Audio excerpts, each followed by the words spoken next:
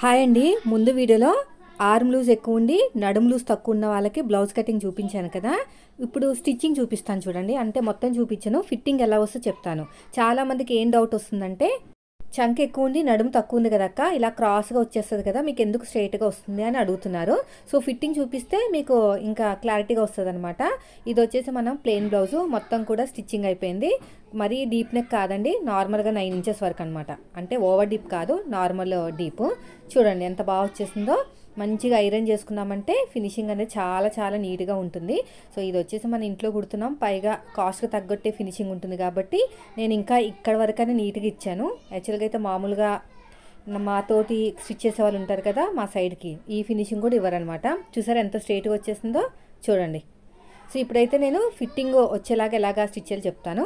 First వచ్చేసి నడుము loose. మనం కరెక్ట్గానే నాలుగు భాగాలు చేసేసుకుని మార్కింగ్ వేసేసుకోవాలి. నేను కుట్టిన బ్లౌజ్ కాబట్టి ఇది నాకు ఎగ్జాక్ట్గా తెలుసు నేను కరెక్ట్గానే పెడతాను. అందుకని బ్లైండ్గా ఇలా పెట్టేస్తున్నాను అనమాట మీరు కుట్టిన బ్లౌజ్ లేకపోతే మాత్రం నడాన్ని నాలుగు భాగాలు చేసుకుని ఒక భాగాన్ని ఇలాగా నాలుగుగా పార్ట్ల కింద డివైడ్ చేసుకోండి. ఇలా అంతా కూడా మార్కింగ్ వేసేసుకోవాలి. ఇప్పుడు షోల్డర్స్ని జాయిన్ చేసేసుకుని నేను నెక్ అయితే మాత్రం సెల్ఫ్ పైపింగ్ వేస్తున్నానండి. ఇది వచ్చేసి మనకి టూ బై టూ కదా. రెండు మూడు సార్లు ఉతకగానే నెక్ దగ్గర లూజ్ అయిపోయే ఛాన్సెస్ ఉంటాయన్నమాట. సో అందుకని చెప్పేసి నేను సెల్ఫ్ పైపింగ్ వేస్తున్నాను కస్టమర్ కూడా ఏం చెప్పరనమాట వద్దు సెల్ నాకు పైపింగ్ అని ఏమనరు. సో అందుకని చెప్పేసి సెల్ఫ్ పైపింగ్ వేస్తున్నాను ఇలాగే స్ట్రైట్గా స్టిచ్ వేసేసేయండి. ఆ తర్వాత వచ్చేసి ఈ నెక్ దగ్గర స్లోప్ ఇచ్చేస్తే భుజాలు జారకుండా ఉంటాయి. ఇలా నీట్గా కొంచెం కట్ చేసుకోవాలన్నమాట. స్లోప్ ఇచ్చాం కదా యాక్చువల్గా కటింగ్లో కట్ చేస్తారు. నేను స్టిచ్చింగ్లో కట్ చేస్తాను. ఇదంతా కూడా తర్వాత వచ్చేసి ఇక్కడ కూడా చిన్న స్లోప్ అయితే ఇచ్చేసేయండి. రెండో స్టిచ్ వేసేటప్పుడు. వీడియో నచ్చితే లైక్ చేయండి ఫ్రెండ్స్. మీరు మా ఛానల్ ఫస్ట్ టైం చూస్తే మాత్రం సబ్స్క్రైబ్ చేయండి. ప్రతిదీ కూడా టిప్స్ చెప్తాను. ఇలా క్రాస్గా. అయిపోయింది. ఇప్పుడు నేను ఆల్రెడీ నెక్కకి క్లాత్ అనేది కట్ చేసి పెట్టుకున్నాను కటింగ్లోనే. అవన్నీ కూడా జాయిన్ చేసేసుకోవాలి. ఇలా జాయిన్ చేసుకుని వన్ సైడ్ ఫోల్డింగ్ చేసేసుకుని వన్ ఇంచ్ ఉంచుకుని మిగతా క్లాత్ అంతా కట్ చేసాను సేమ్ మన పైపింగ్కి ఎలాగైతే క్లాత్ రెడీ చేసుకుంటే అలాగా. ఇప్పుడు నాకు చేతి వాళ్ళని బట్టి స్టార్ట్ చేసుకుంటున్నానండి. ఎడమ చేతి వైపుకి అయితే చేతి వాళ్ళు స్టార్ట్ అవుతుంది. నాకైతేని సో ఇలాగ నీట్గా కుట్టుకుంటూ వెళ్ళిపోవాలి. ఇలా నీట్గా కుట్టుకుంటూ వెళ్ళిపోవాలి. చూడండి నేను ఎలాగైతే కుడుతున్నానో అలాగా. ఇది మొత్తం కూడా నీట్గా. ఇలా స్టిచ్ చేసుకుంటూ వెళ్ళిపోవటమే. చూడండి.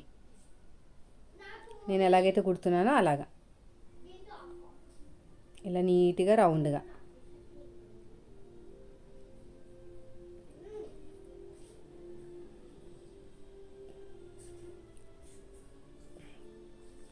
కొంచెం తక్కువ వచ్చింది ఇక్కడ. దీన్ని కూడా యాడ్ చేసుకుంటాను అందుకనే ఫస్టే మనం ఎక్కువ కట్ చేసి చేసుకుంటే ఈ ప్రాబ్లం ఉండదండి.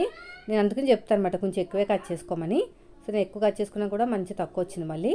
సో ఇలాగ లోపలికి ఫోల్డ్ చేసేసేయండి. రౌండ్ తిరిగే చోట చిన్న చిన్న టక్స్ ఇచ్చేసేయండి. రౌండ్ తిరిగే చోట చిన్న చిన్న టక్స్ ఇచ్చేసుకొని పన్నెండవ నెంబర్ థ్రెడ్ తీసేసుకోండి. ఇలా చిన్న చిన్న టక్స్ తీసే పెట్టేసుకుని నేను ఫ్రంట్ పార్ట్ స్టిచ్చింగ్ అవన్నీ కూడా ప్రతి వీడియోలో షేర్ చేస్తూనే ఉంటానండి. ఏదో ఒక్క వీడియోలో స్టిచ్చింగ్ వీడియోలో. అందుకని చెప్పేసి మీకు ఫిట్టింగ్ కోసం మాత్రమే ఈ బ్లౌజ్ చూపిస్తున్నాను అనమాట ఇలా ఓపెన్ చేసేసుకుని పన్నెండవ నెంబర్ థ్రెడ్ అనేది పెట్టేసుకోండి. ఇదైతే నార్మల్ పాదంతో కుట్టడానికి పర్ఫెక్ట్గా వస్తుంది అనమాట ఇలాగా ఇలా నీట్గా ఫోల్డింగ్ చేసుకుని స్టిచ్ చేసుకుంటూ వెళ్ళిపోవటమే. ఇలా మొత్తం కూడానే. ఇక్కడ కూడా అంతే. ఇలా నీట్గా ఫోల్డింగ్ చేసుకుని స్టిచ్ చేసుకుంటూ వెళ్ళిపోవాలి. రెండో సైడు కావాలంటే స్టిచ్ వేసేసుకోవచ్చు లేదంటే హెమ్మింగ్. నేనైతే స్టిచ్ వేసేస్తాను. డైలీ వేర్ కదా స్ట్రాంగ్గా ఉంటుంది. ఇలా నీట్గా కుట్టుకుంటూ వెళ్ళిపోవాలి. చూడండి ఇలా ఫోల్డింగ్ చేసుకుని ఇలా మొత్తం కూడా ఇలా ఫోల్డింగ్ చేసుకుని నీట్గా స్టిచ్ చేసుకుంటూ వెళ్ళిపోవాలి. చూడండి నేను ఎలాగైతే స్టిచ్ వేస్తున్నానో అలాగా. వీడియో నచ్చితే లైక్ చేయండి ఫ్రెండ్స్. మీరు మన ఛానల్ ఫస్ట్ టైం చూస్తే సబ్స్క్రైబ్ చేయండి. ఇలా అంతా నీట్గా కుట్టుకుంటూ వెళ్ళిపోవటమే. ఇలా మొత్తం కూడా. ఇలా ఫోల్డింగ్ చేసుకుని స్టిచ్ వేసుకుంటూ వెళ్ళిపోవాలి.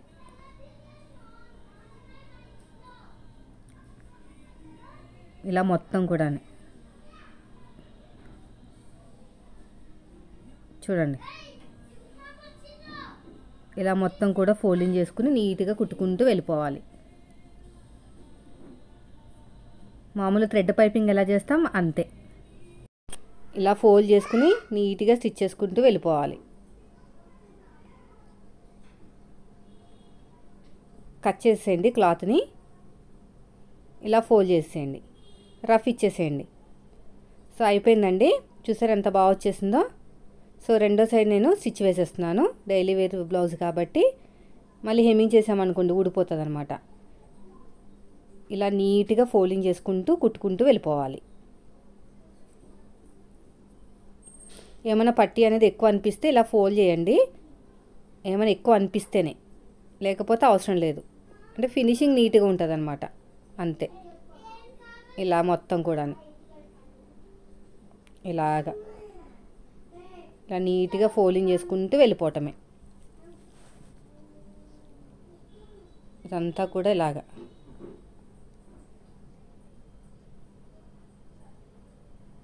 ఇలా నీట్గా స్టిచ్ చేసుకుంటూ వెళ్ళిపోవటమే.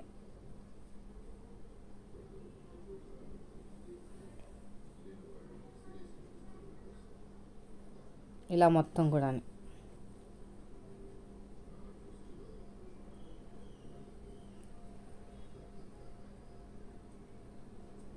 చూడండి. అయిపోయిందండి నెక్. ఇప్పుడు వచ్చేసి మనం ఇలాగ ఐరన్ చేసుకుంటే మీకు ఇక్కడ ఉబ్బెత్తుగా రాదనమాట. ఇప్పుడు ఇక్కడ షోల్డర్ దగ్గర కరెక్ట్గా కట్ చేసుకోండి. ఏమైనా ఎక్కువ తక్కువ ఉంటే ఫ్రంట్కి ఫ్రంట్ బ్యాక్ బ్యాక్ వచ్చేటట్టు మీకు ఫ్రంట్ పార్ట్ ఫ్రంట్కి బ్యాక్ పార్ట్ బ్యాక్కి అంటే మనకి హ్యాండ్స్ ఉంటాయి కదా లోత్ అనేది ఫ్రంట్ పార్ట్కి రావాలి. లోతు లేనిది బ్యాక్ పార్ట్కి రావాలి. సైడ్కి కొద్దిగా అతుకులు పడతాయన్నాం కదా అది కూడా స్టిచ్ వేసాను. ఇప్పుడు కరెక్ట్గా పెట్టేసుకోండి ఇలాగా. ఇలా కరెక్ట్గా టక్ అనేది షోల్డర్ కుట్టు దగ్గర ఉండాలి. రఫ్ ఇచ్చేసేయండి. రఫ్ ఇచ్చేసి నీట్గా స్టిచ్ చేసుకుంటూ వెళ్ళిపోవాలి. ఇలాగా. ఇలా మొత్తం కూడా నీట్గా స్టిచ్ చేసుకుంటూ వెళ్ళిపోవాలి. సైడ్కి అతుకులు కూడా జాయిన్ చేసేసుకున్నాను. ఫ్రంట్కి ఫ్రంట్ బ్యాక్ బ్యాక్ వచ్చేటట్టు స్టిచ్ వేసుకోవాలండి. లేకపోతే మీకు అటు ఇటు అయిపోతుంది అనమాట ప్రతిదీ నేను చెప్పినట్టు స్టిచ్ అయింది పర్ఫెక్ట్గా వచ్చేస్తుంది. ఇది అయిపోయిందండి తర్వాత వచ్చేసి ఇంకొకటి. ఇంకోటి కూడా సేమ్ అంతే. ఇలా నీట్గా స్టిచ్ వేసుకుంటూ వచ్చేయాలి. చూడండి.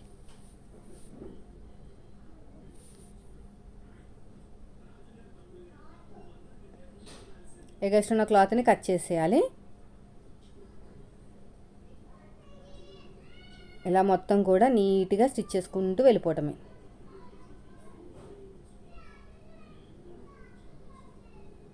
ఇప్పుడు రెండో సైడ్ కూడా అంతే. రెండో సైడ్ కూడా ఇలా స్టిచ్ వేసేసుకోండి. ఇలా కరెక్ట్గా పెట్టేసుకుని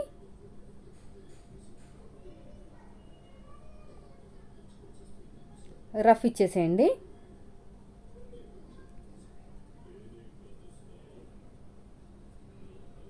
ఇలా మొత్తం కూడా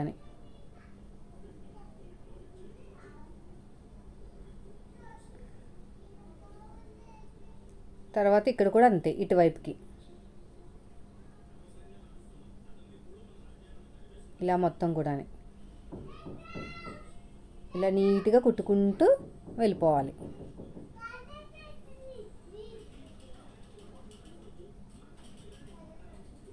ఇలా మొత్తం కూడా మళ్ళీ ఫస్ట్ నుంచి లాస్ట్ వరకు ఇంకొక స్టిచ్ వేసేయండి.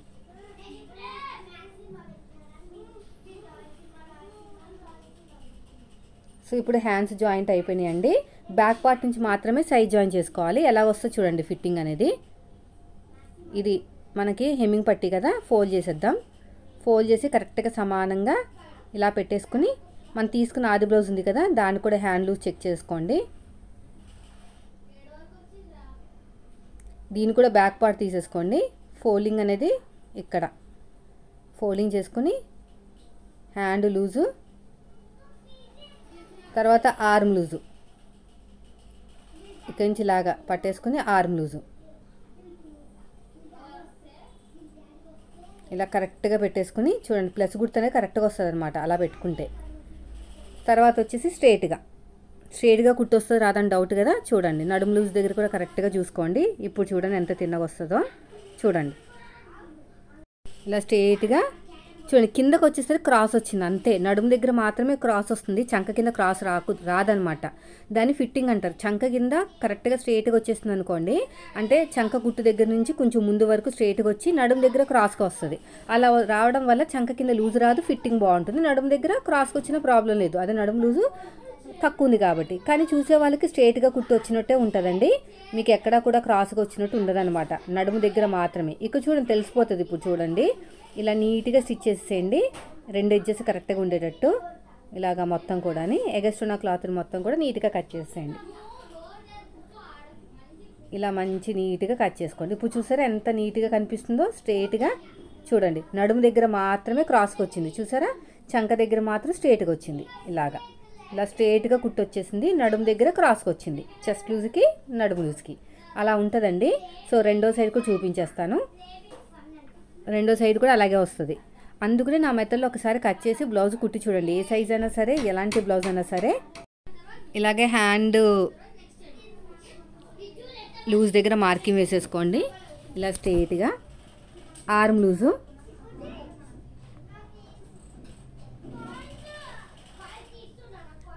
ఆర్మ్ కూడా. ఇలాగా.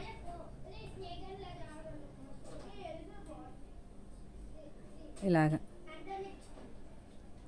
స్ట్రైట్గా స్టిచ్ వేసేయండి. తర్వాత వచ్చేసి నడుము లూజ్ దగ్గర. రఫ్ ఇచ్చేసేయండి. ఇంకొక రఫ్.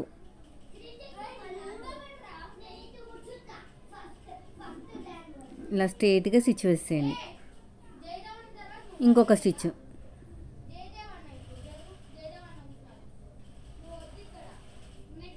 ఇలా రఫ్ ఇచ్చేసేయండి. ఎగస్ట్ ఉన్న క్లాత్ మొత్తం కూడా నీట్గా కట్ చేసేయండి. అంటే ఎడ్జ్కి ఒక స్టిచ్ వేసుకుని ఫ్రంట్ బ్యాక్ కలిసిన చోట.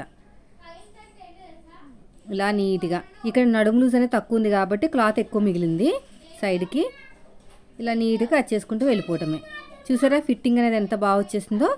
సో నేను చెప్పినట్టు ఒకసారి ఒక బ్లౌజ్ కట్ చేసి కుట్టి చూస్తే మీకే అర్థమైపోతుందండి. ఏ సైజ్ బ్లౌజ్ వచ్చినా ఎలాంటి బ్లౌజ్ వచ్చినా కూడా ఫిట్టింగ్ అనేది సూపర్గా వస్తుంది అనమాట చంక కింద లూజ్ రావటాలు అవి ఏమి ఉండవు. చాలామంది ఏ- మన దగ్గరకు వచ్చిన కస్టమర్లు కంప్లైంట్లు వచ్చేవి ఏంటంటే కొద్దిగా లూజ్ ఉందనో లేకపోతే హ్యాండ్ హైట్ కొంచెం తగ్గించమనో పెంచమనో అలాంటివి వస్తే తప్ప ఫిట్టింగ్ అనేది బాగుందని అంటారు. ఎవరైనా సరే ఎవరు వచ్చినా సరే ఫిట్టింగ్ బాగుంది అంటారనమాట కానీ కొంచెం నెక్ దింపండి కొంచెం పెంచండి అలాంటివి తప్ప మన దగ్గర వేరే ఏంటి మేజర్ ప్రాబ్లమ్స్ ఏమీ రావు. చెస్ట్ దగ్గర పట్టేసిందని.